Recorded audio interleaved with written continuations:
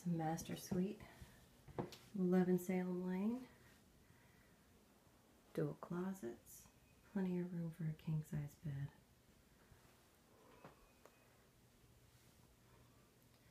Nice big windows. Your standard three piece single vanity with a tile shower, tile floors.